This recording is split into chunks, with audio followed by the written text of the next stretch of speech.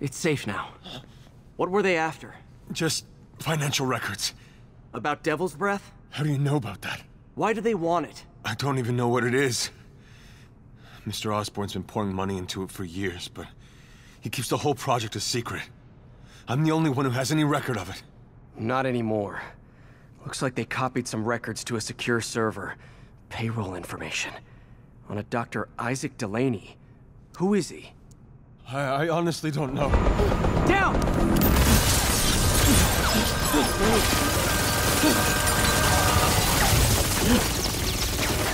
Come on, come on!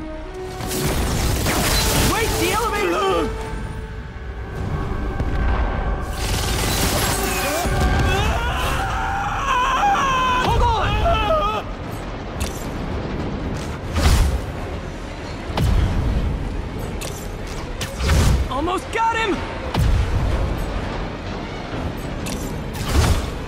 Try to fall slower!